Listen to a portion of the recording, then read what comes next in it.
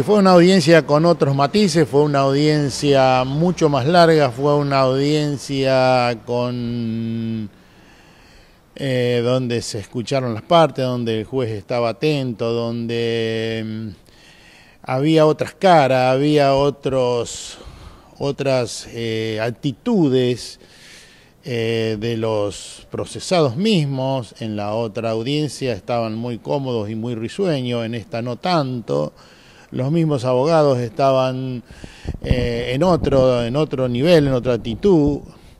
Y bueno, muy firme la querella y muy firme el fiscal de Cámara. Eso también fue impactante y hubo momentos donde hubo algunos roces.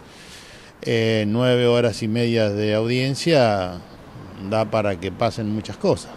El fiscal de Cámara, eh, ya terminando y cerrando la audiencia, que esto era un pacto criminal.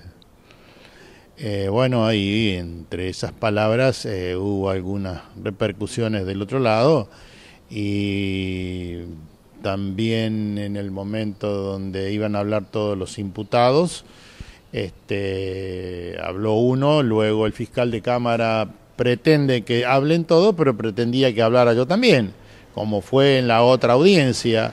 Y bueno, por unanimidad los, los abogados de los ocho imputados eh, no me dejaron hablar a mí.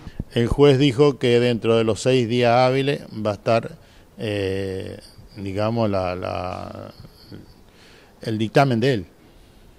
Espero que después de cuatro años y siete meses sea este el momento donde comiencen a darme un poquito de justicia.